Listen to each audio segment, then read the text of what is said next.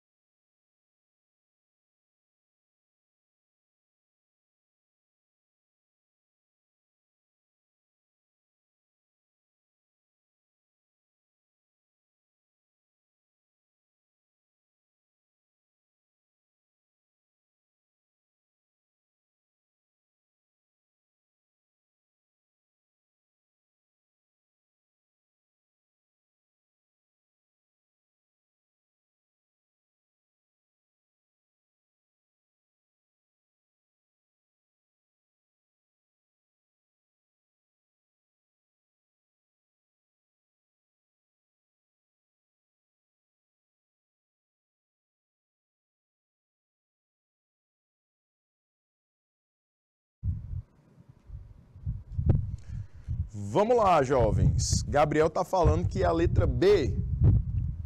Muito bem, vamos lá, vamos lá. Primeiro, primeiro, a gente vai tratar aqui do alumínio. Qual é a capacidade térmica do alumínio?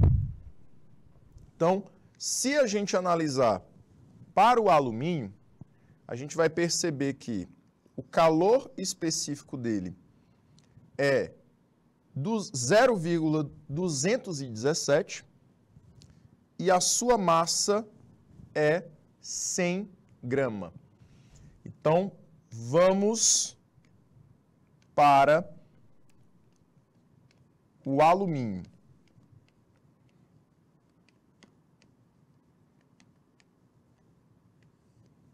Qual é a capacidade térmica desse material?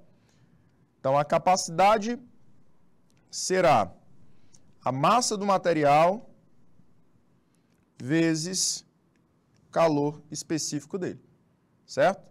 Então, vou colocar aqui, alumínio.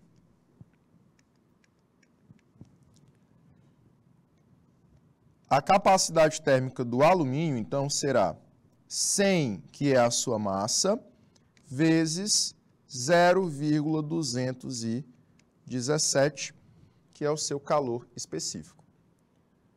100 vezes 0,217 vai te dar uma capacidade térmica de 21,7. Qual é a unidade de capacidade térmica? A unidade é caloria por grau Celsius. Então aqui é a nossa primeira capacidade térmica. Será que essa daqui é a maior? Tenho minhas dúvidas. Próximo, próximo material é o ferro, né? É o ferro. 0,113 é o calor específico desse material. E a massa é 200. Vamos lá. Ferro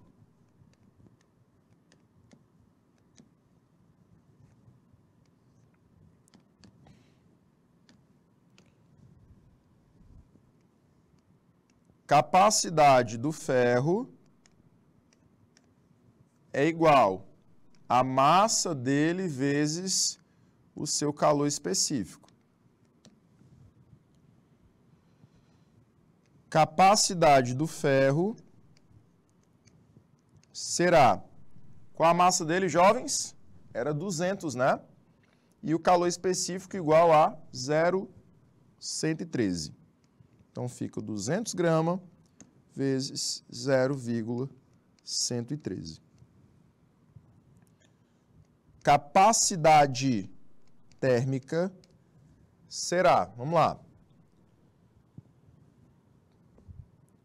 0,113, 0,113 vezes 200 dá 22,6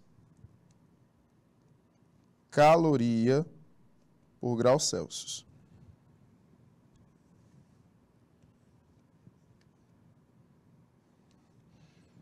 Beleza? Achamos aí já a capacidade térmica desse material.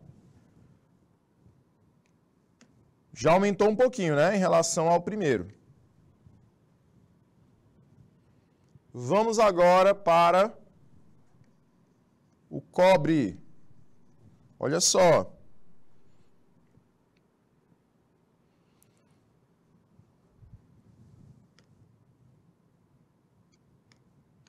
Cobre.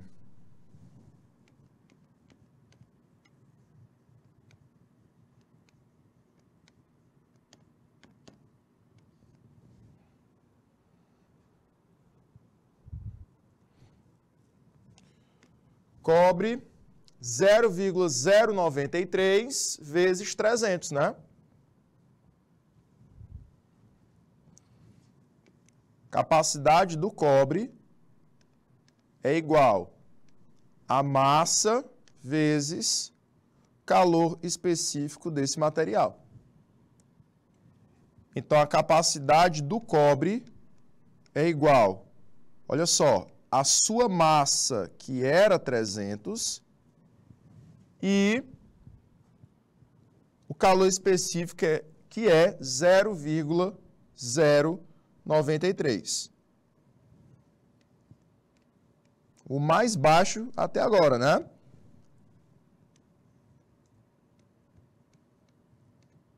Então ficaria 300 vezes 0,093, que dá 27,9. Olha só, calorias por grau Celsius. Até agora, jovens, está dando cobre. Cobre tem uma, a maior capacidade térmica. Tá? É a maior até agora.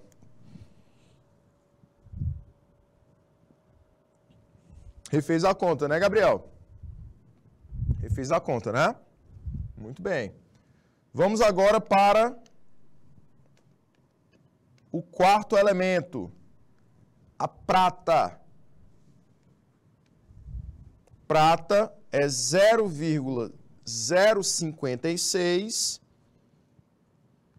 vezes 400.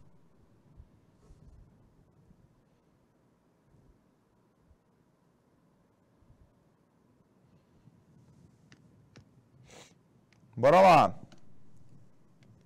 Prata. Qual o símbolo da prata aí, jovens? Lá na tabela periódica. E aí? Quem sabe de cabeça? É o AG.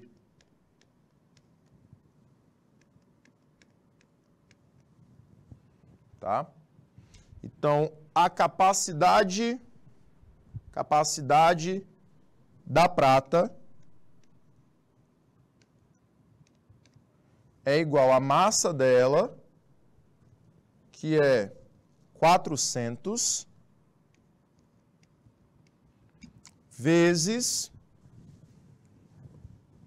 0,056.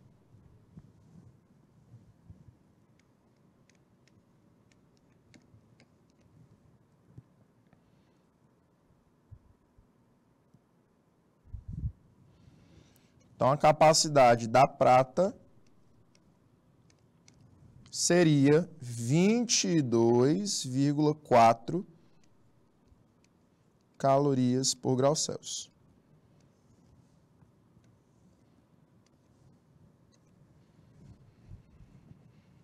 E falta o último elemento, né?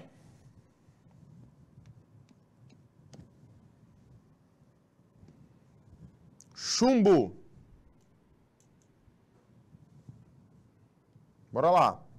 0,031 e eu tenho aí meio quilo, 500 gramas.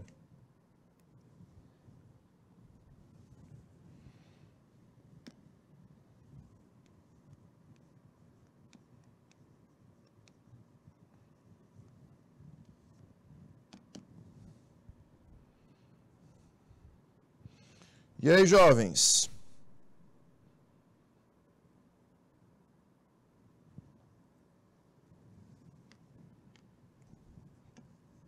Capacidade do chumbo.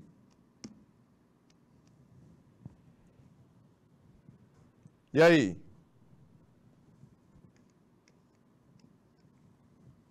Capacidade do chumbo.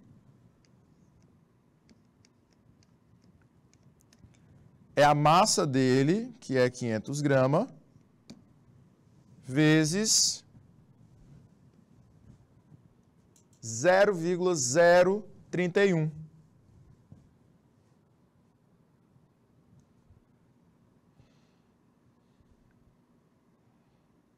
Quinhentos vezes zero vírgula zero trinta e um.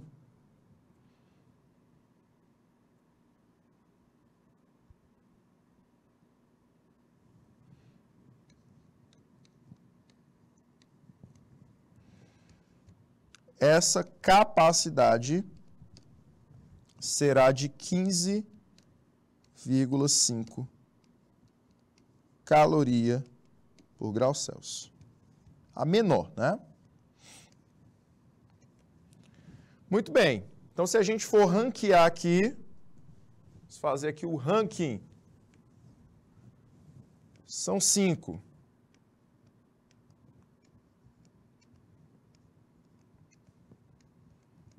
Cinco materiais. E aí, medalha de ouro para o material de maior capacidade térmica. É o cobre, né? 27,9. Cobre aqui em primeiro lugar. Em segundo lugar, Será o ferro? É o ferro, né?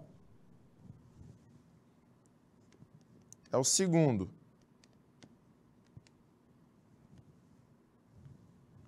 Em terceiro, a prata.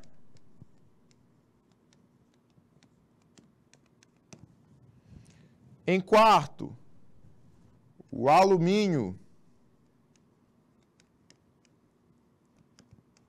E em último, o chumbo. Certo? Então, cobre é a nossa alternativa. A gente quer o de maior capacidade térmica. Então, cobre ganha e se torna aí o nosso gabarito, né? Letra é.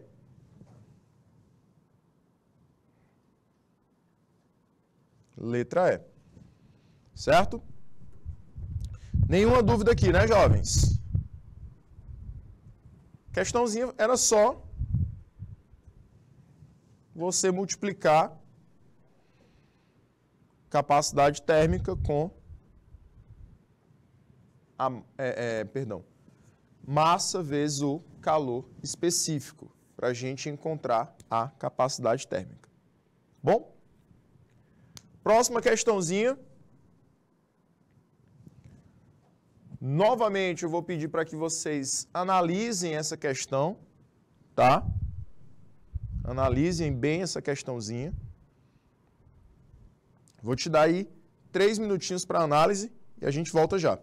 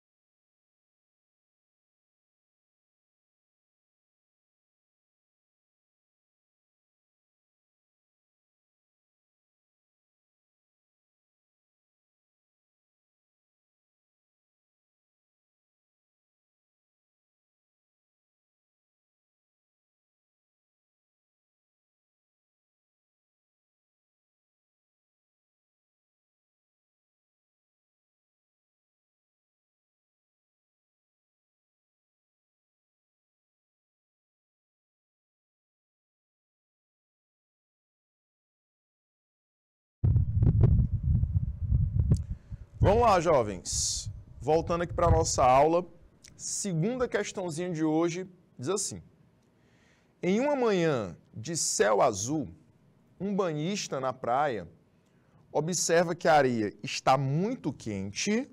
Olha só. Areia muito quente.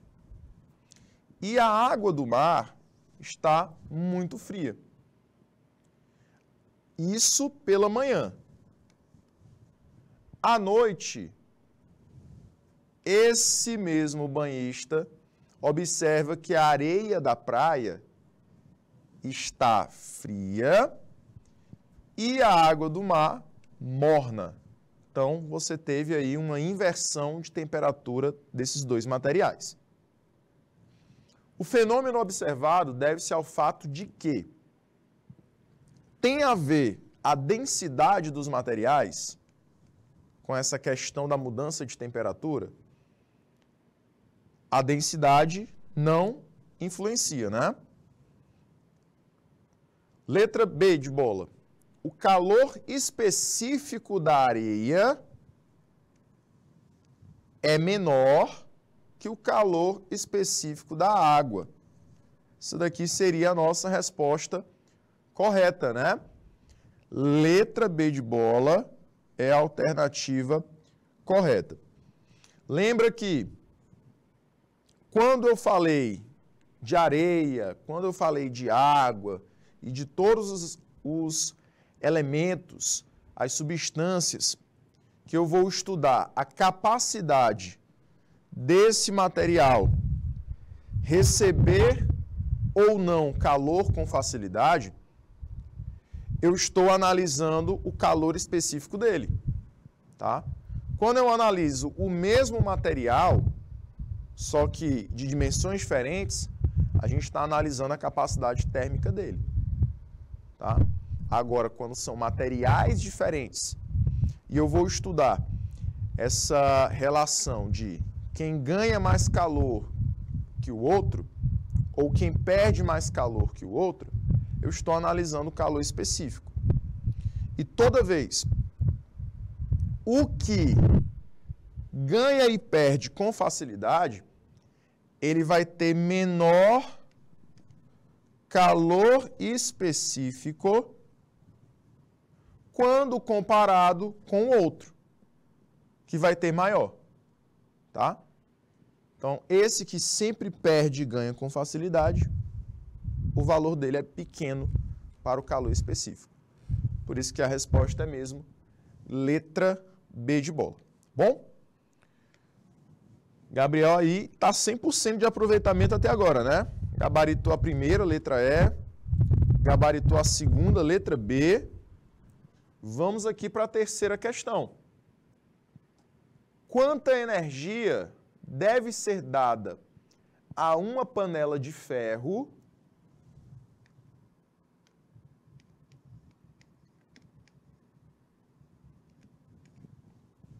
de 300 gramas,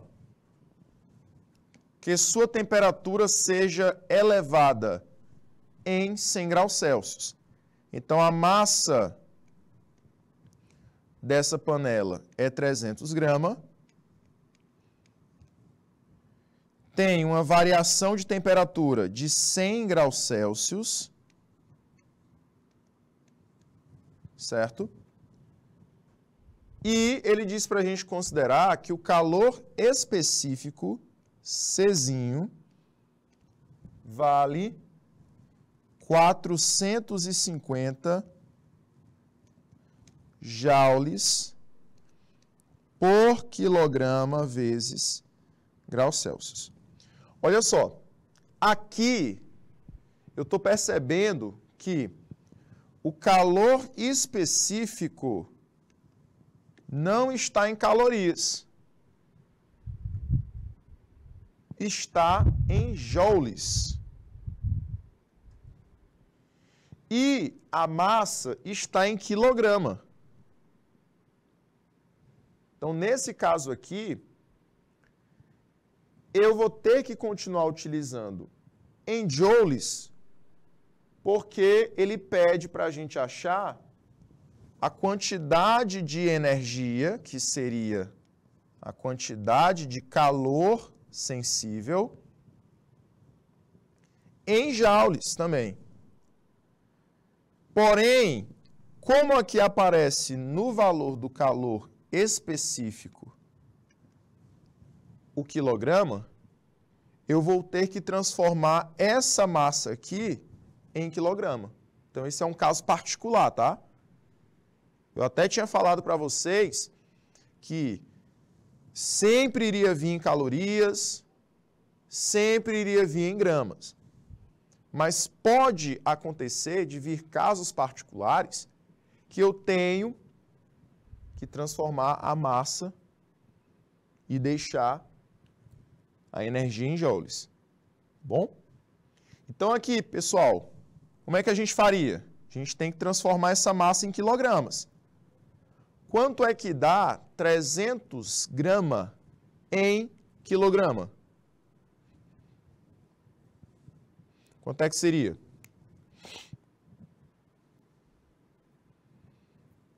E aí?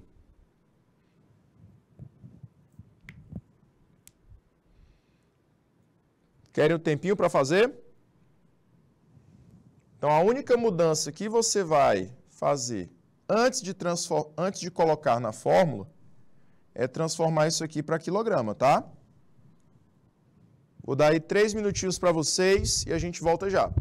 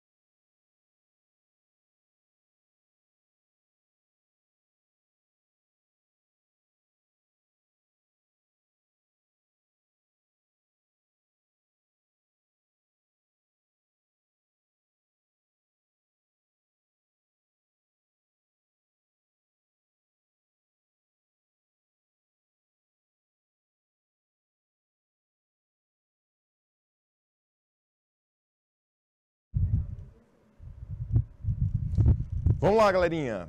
Voltando, né? Voltando aqui para a nossa questão.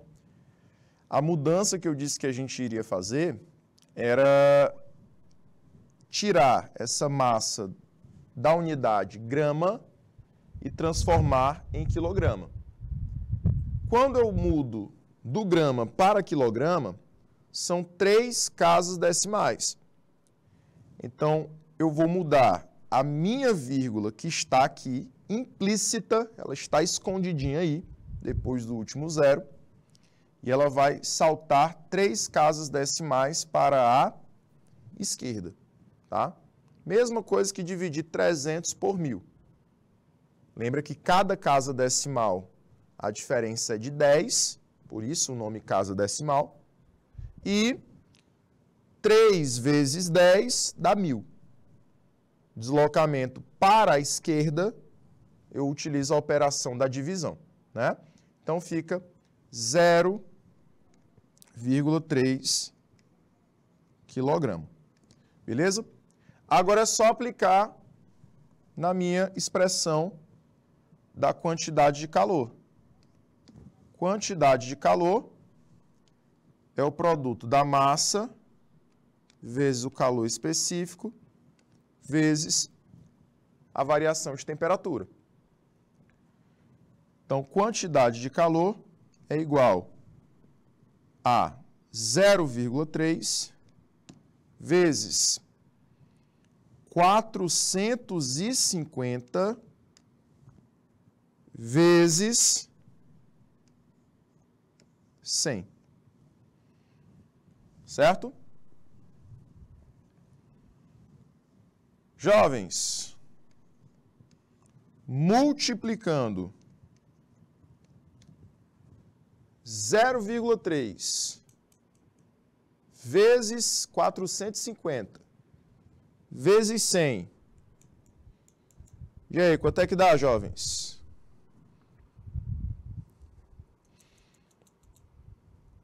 Letra D, né? Ou não?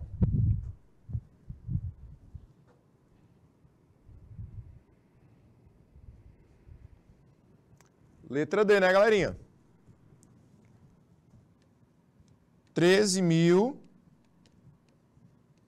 e 500 joules. Letra D de dado. Muito bem, muito bem. Mais uma questãozinha se foi. Vamos lá para a quarta questão. Próxima. Sabendo que o calor específico do ferro é de aproximadamente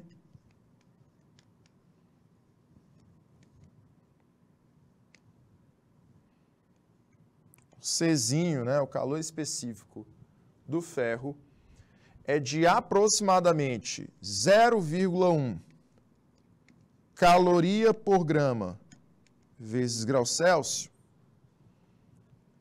calcule a quantidade de calor para elevar 15 graus Celsius a temperatura de um pedaço de 80 gramas desse material. Então, aqui eu tenho a variação da temperatura igual a 15. E eu tenho a massa igual a 80 gramas. O que, que ele pede para a gente? A quantidade de calor, tá? Então, vamos usar a expressãozinha do calor específico. Ok? Essa expressãozinha é semelhante àquela que a gente usou. Ela vai partir da expressão do calor específico, né? Foi a expressãozinha do Czinho que a gente viu primeiro. Só que a gente vai usar igual na questãozinha 3. em função da quantidade de calor. Então, ficaria massa vezes o calor específico vezes a variação de temperatura. A quantidade de calor, que é o sensível, é o que eu quero determinar. A massa vale 80.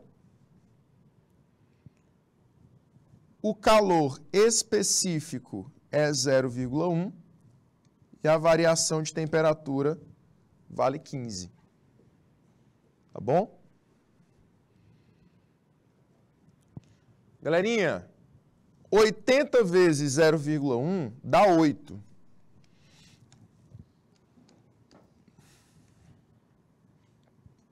15 vezes 8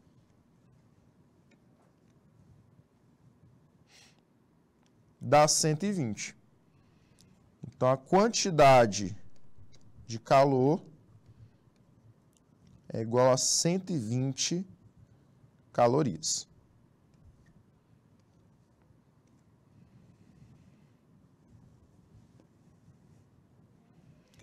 Show de bola, jovens!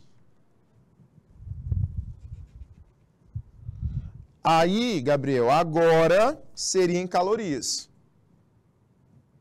Não é em joules, tá? Por quê, jovem? Olha só. Olha aqui, ó. Calor específico está em calorias.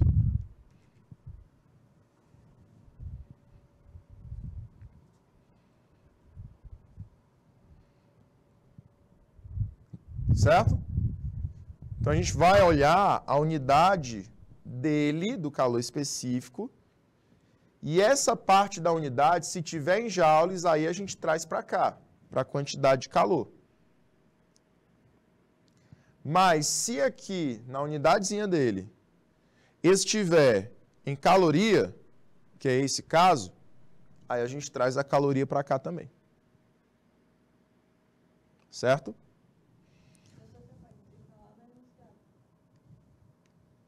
A unidade? Pronto. Olha aqui, ó. Se eu tenho caloria aqui, ó, que é o calor específico, olha só. Aqui refere-se ao calor específico. Se eu tenho calorias aqui, a quantidade de calor que for o que a gente encontrou, igual a 120, tem que estar tá em calorias também. Então a gente olha para essa unidade aqui de cima. Se ela for joules, vem para cá o joules também.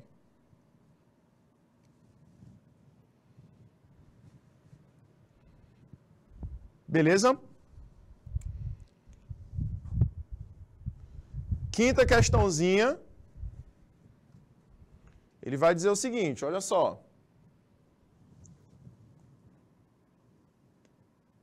Um corpo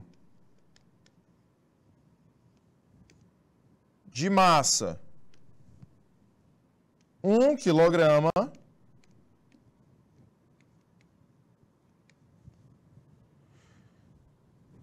recebeu 10 quilocalorias. Olha só, aqui ele já deu a quantidade de calor. 10 quilocalorias. E sua temperatura passou de 50 para 100. Qual o calor específico desse corpo jovem? E aí? Lembrando que aqui ele já deu a variação da temperatura. Deu, professor? Deu. Ele disse que a temperatura era de 50 e foi para 100. Quanto foi que aumentou? 50, né? Olha só.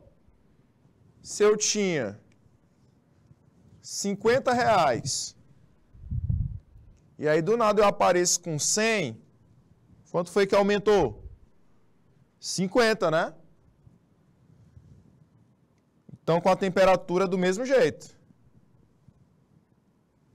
Então, para sair de 50 e chegar a 100, a variação foi de 50.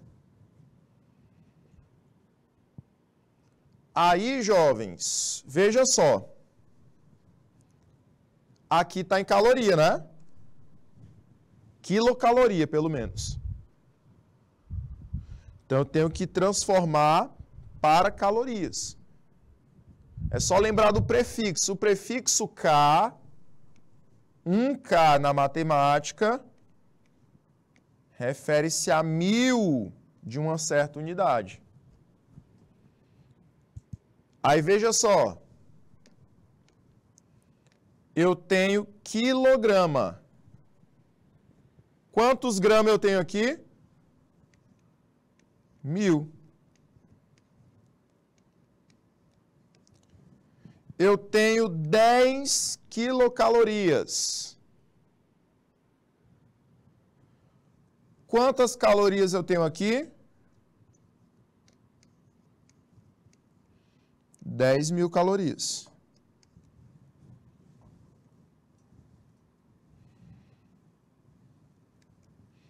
E aí, jovens, vocês vão achar o Czinho, tá? Agora, o foco de vocês é achar aí o calor específico. Vou dar dois minutinhos e a gente volta já.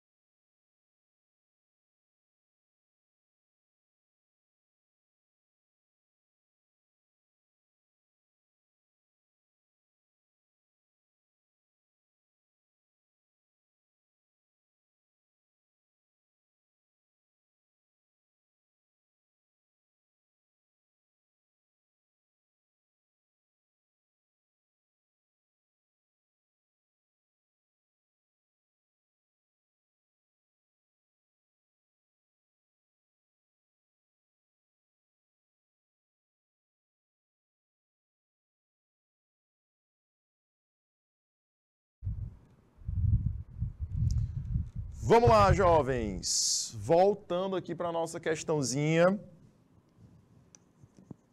Olha só. Eu quero achar o calor específico, né? Já tem uma resposta aí do grande Gabriel. Jovens, deu 500, né, Gabriel? Bora lá.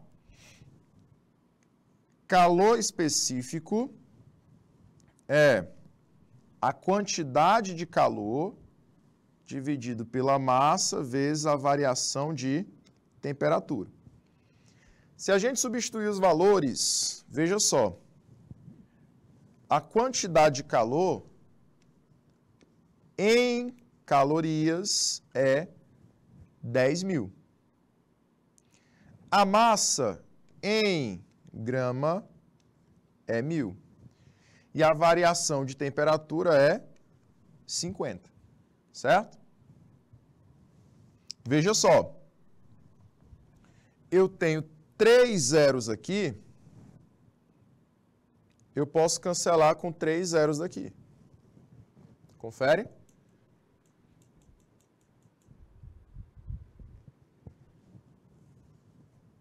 Esse zero que sobrou aqui do 50, eu posso cancelar com esse zero aqui do 10. Correto? Então, veja só. Ficaria então 1 sobre 1 vezes 5. 1 vezes 5, jovens, dá 5, né? Então fica 1 sobre 5. Divide aí 1 sobre 5. Tem um real. Tem que dividir um real. Olha a situação que você chegou. Você tem que dividir um real para cinco pessoas. Dá o quê? 20 centavos para cada. Qual a unidade? Caloria por grama vezes graus Celsius, tá? Cuidado com essas divisões. Cuidado, cuidado, cuidado, cuidado.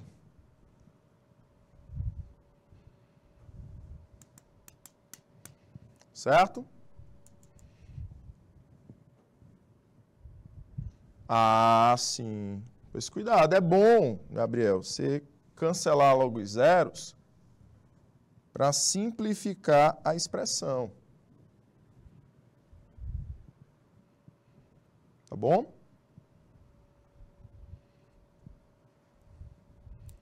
É bom você simplificar os zeros. E aí deixa a equação mais simples, mais enxuta. E aí você sabe trabalhar melhor com ela. Tá bom? Galerinha,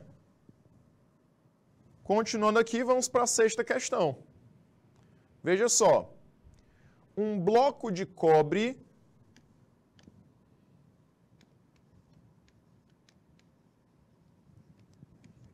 um bloco de cobre com 200 gramas de massa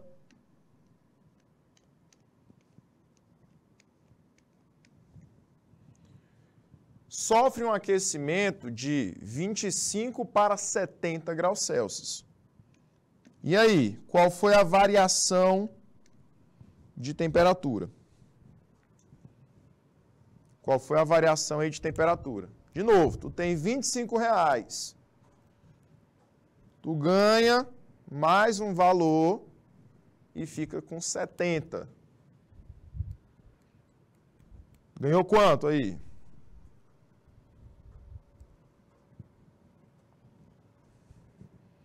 45, né?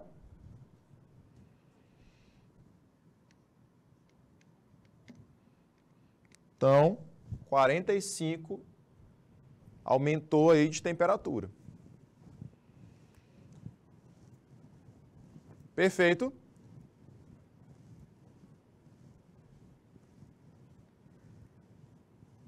O calor específico do cobre é 0,093. Então, Czinho é 0,093 caloria por grama vezes grau Celsius. Determine a quantidade de calor e a sua capacidade térmica. Então, são duas coisas que ele pediu, né? Ele pediu a quantidade de calor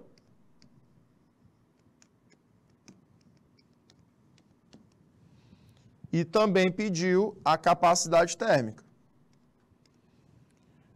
A capacidade térmica a gente já pode descobrir fazendo o produto da massa vezes o calor específico, né? Olha só.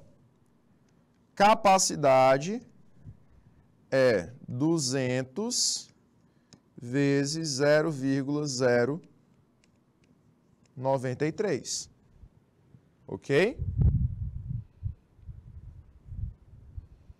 Então a gente pode multiplicar esses dois valores e achar a capacidade de 18,6 caloria por grau Celsius. Prontinho. Essa é a capacidade. Professor, e a quantidade de calor? Vamos lá para ela.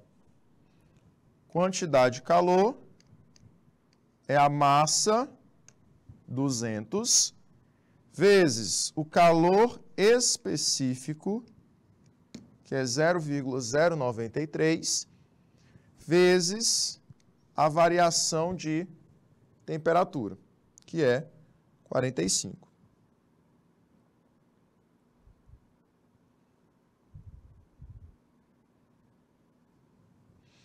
Então, isso tudo dá quanto, jovens? Dá 837, né? Conferindo aqui. 200 vezes 0,093 vezes 45. Exatamente. 837.